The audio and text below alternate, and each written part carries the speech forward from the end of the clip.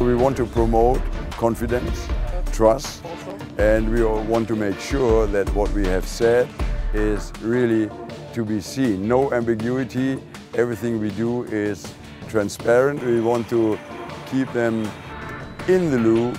Uh, there's nothing to hide. We want in particular avoid misunderstanding.